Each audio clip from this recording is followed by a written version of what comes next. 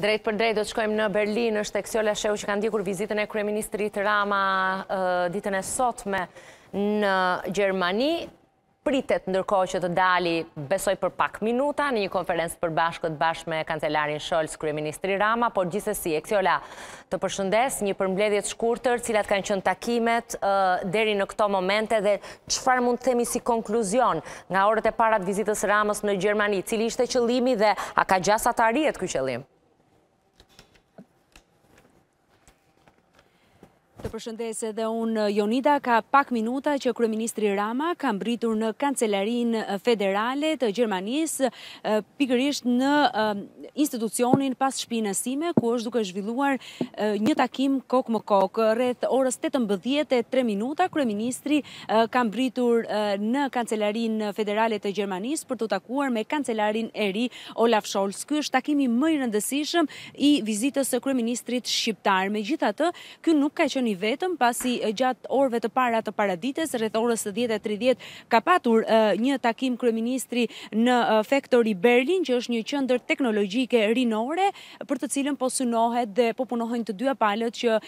një gjë e ngjashme në funksion të të rinjve të sillet edhe në kryeqytetin shqiptar Tiranë. Më pas, në mesditë, rreth orës 12:30 minuta, kryeministri është pritur nga kryebashkiakja e Berlinit, ku përmes rrjeteve sociale kanë ndarë edhe disa fotografi nga ky takim dhe Në fund, kryeministri gjithashtu ka qenë në zyrën e kryebashkiakes së Berlinit, ku është zhvilluar takimi dhe ka vizituar sallën e armëve, ku është ftuar që të nënshkruajë në librin e artë të qytetit të Berlinit. Nga ky takim ka pak informacione, megjithatë pasi Mesazhet politike Jonida do të përqendrohen në konferencën për shtyp që do të zhvillohen me kancelarin. Në orën 15:20 minuta kryeministri Rama ka zhvilluar një takim kokë më kokë sërish me presidentin Steinmeier dhe tre kanë qenë pikat e diskutimit. E para për bashkëpunimin e shkëlqyer mes dy vendeve dhe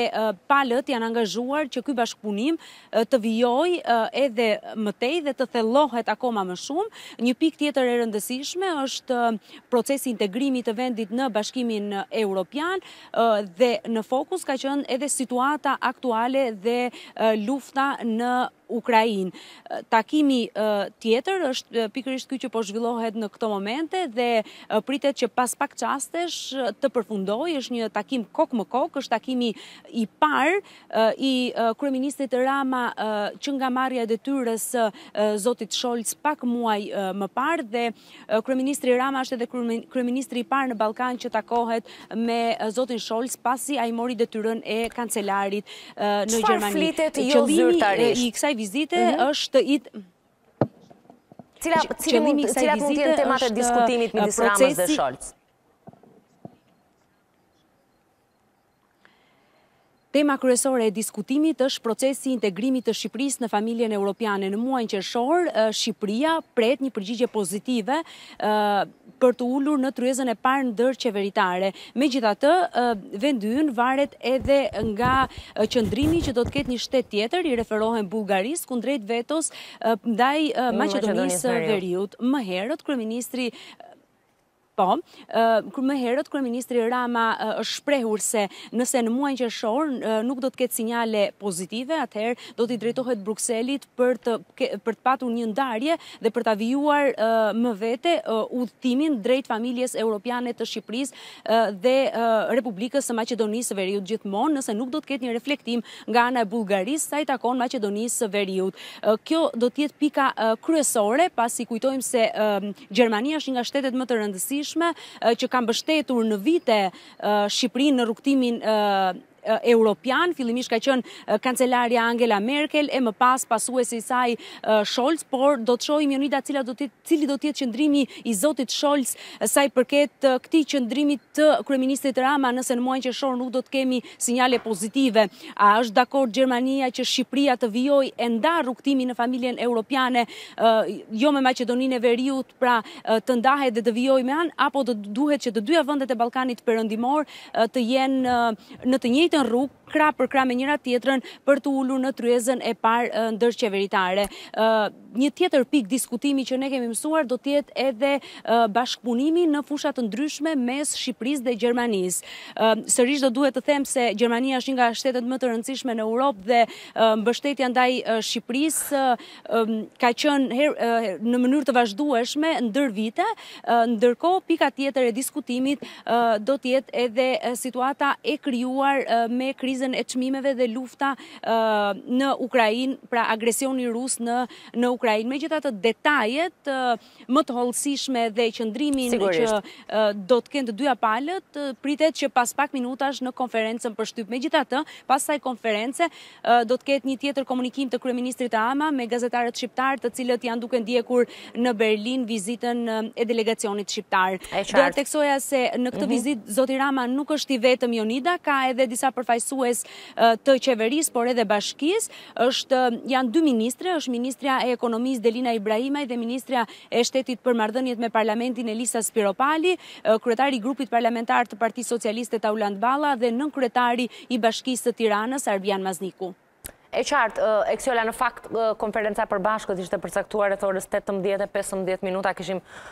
Shumë shpresë tek përpikmëria e gjermanëve, po me sa duket koha e daljes në konferencën e përbashkët për shtyp do të varet shumë nga si do të zgjasë, domethënë si do të zhvillohet takimi kokë më kokë midis Ramës edhe Scholz. Me sa duket temat e diskutimit janë shumë të rëndësishme, më pas dalja në Po Jonida, por kryeministri Rama ka mbërritur me tre minuta vonesë nga orari parashikuar, ishte parashikuar takimi në orën 18:03 minuta. E qartë. Ne jemi në pritje. Eksjola jemi në pritje. Besoj jemi brenda orareve, megjithatë do ta shohim. Ne jemi në pritje, do të jemi në transmitim deri rreth orës 18.25 minuta si zakonisht paktën këtu me sotin. Më pas do të vijojë edhe edicioni qëndror i lajmeve, po është e kuptueshme e gjithë situata, po të marrim parasysh që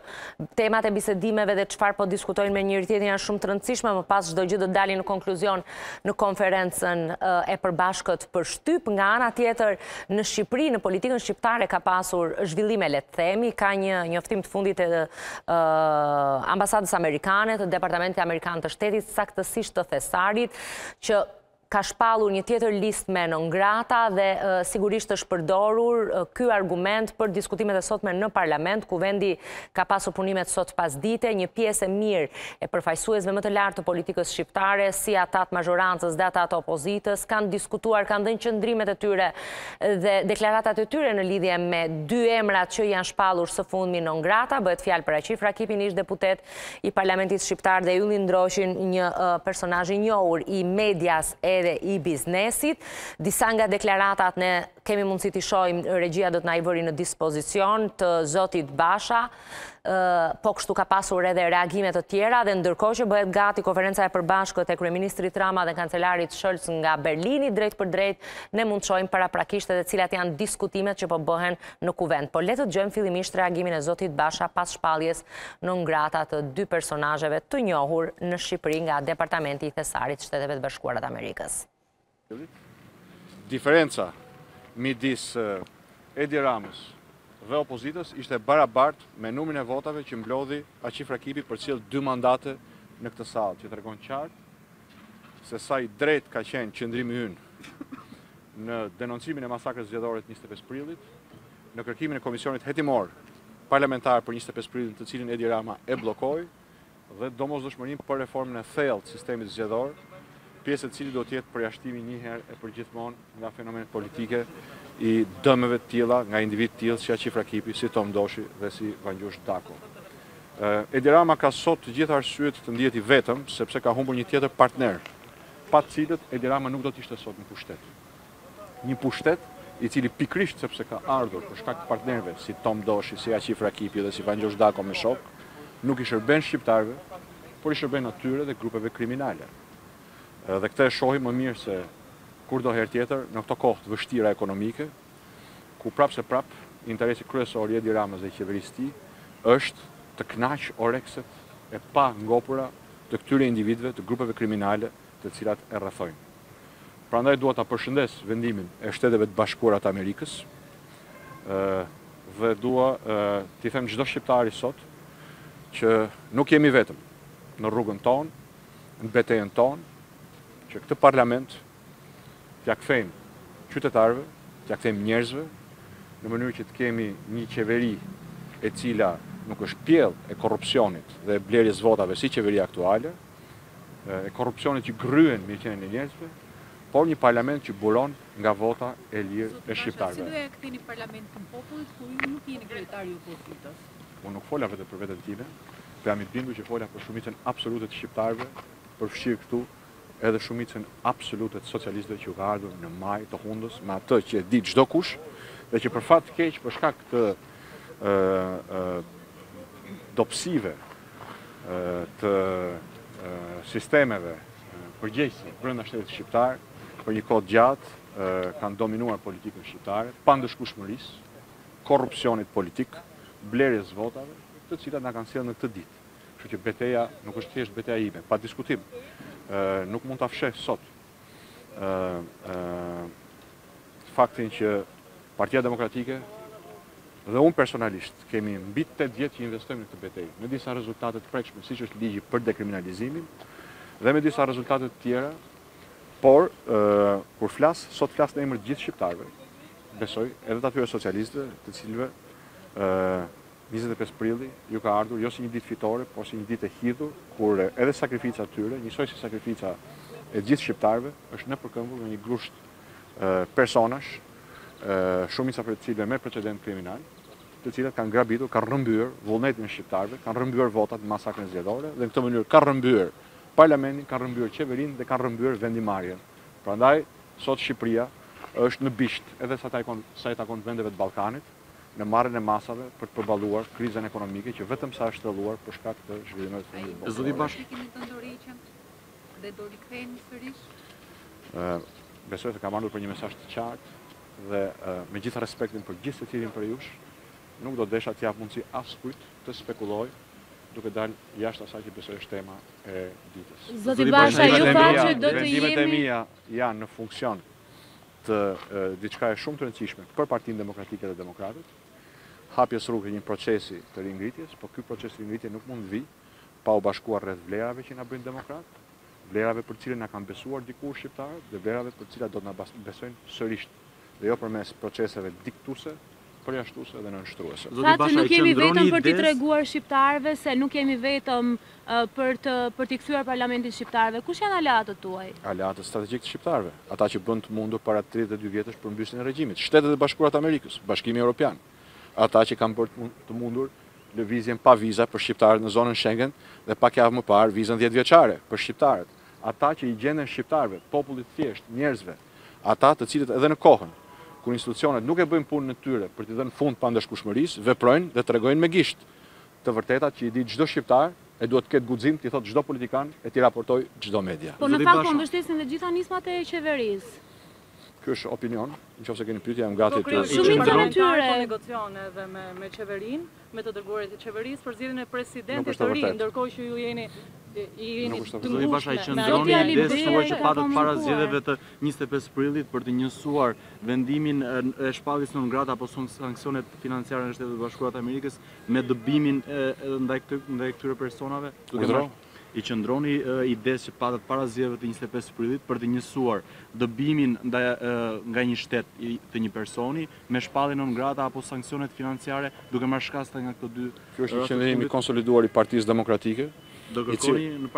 i cili është marrë nga Partia Demokratike si e tërë. Dhe nuk ka nevojë për koment të mëtejshëm. Pa diskutim që i qëndroj unë dhe jam i bindur që i qëndron shumica e demokratëve. A do të bashkëpunojë grupi që ju mbështet ju me Qeverinë për zgjedhjen e presidentit të ri? Unë mendoj se pyetjet që kanë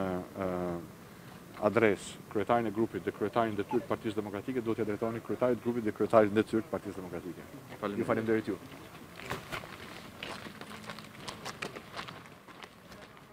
Ky ishte reagimi i zotit Basha në lidhje me listën e fundit të shpallur nga Departamenti Amerikan i Thesarit të non gratave në Shqipëri në parlament nga ana tjetër vazhdojnë diskutimet, po zoti Basha me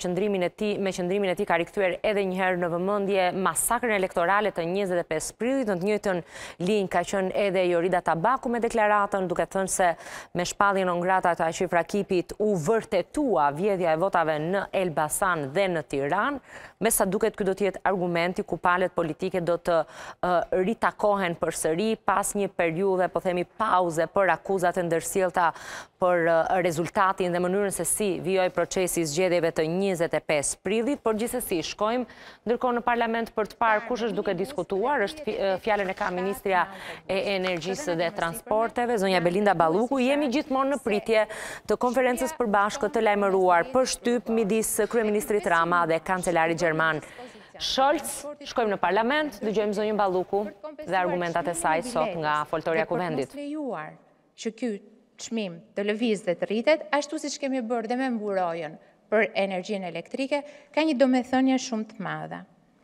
Njëqind lekë subvencion për një litër karburant do të duhen njëqind milion lekë në muaj dhe treqind milion lekë për një periudhë tre mujore, kjo vetëm për transportin e pasagjerëve me urban, ndërkohë që transportet e tjera rrugore të pasagjerëve, njëqind lekë subvencion për një litër karburant do të duhen dyzet e dy milion lekë në muaj ose njëqind e njëzet e pesë njëqind e njëzet e gjashtë milion lekë për një periudhë tre mujore. Ndërkohë që e gjithë paketa pra në totalin e saj shkon deri në 500 milion. Do të ndalesha vetëm për pak edhe tek rezultatet e këshillimit kombëtar. Rezultatet e këshillimit kombëtar të cilat pavarësisht se çfarë i quani ju, është një referendum i madh, ku kanë marrë pjesë pesëqind e gjashtëdhjetë e tre mijë e njëqind e nëntëdhjetë e pesë qytetarë në një periudhë kohe nga nëntëmbëdhjetë shkurti deri në tridhjetë e një mars, duke i dhënë atyre mundësi që të përgjigjeshin përmes tre platformave, pra duke u përgjigjur fizikisht me zarf, duke plotësuar pyetësorin online ose dhe duke plotësuar pyetësorin nëpër tendat që u vendosën nëpër bashki kudo në territor. Nëntë mijë e katërqind e dyzet e shtatë pyetësorë kanë rezultuar të pavlefshëm, vetëm dy për qind, ndërkohë që gjithë pjesa tjetër na ka dhënë një feedback të jashtëzakonshëm, për të na treguar se çfarë duhet të bëjmë në të ardhmen me punët tona dhe çfarë është më e rëndësishmja, ky Këshillim Kombëtar me gjithë rezultatet e tij.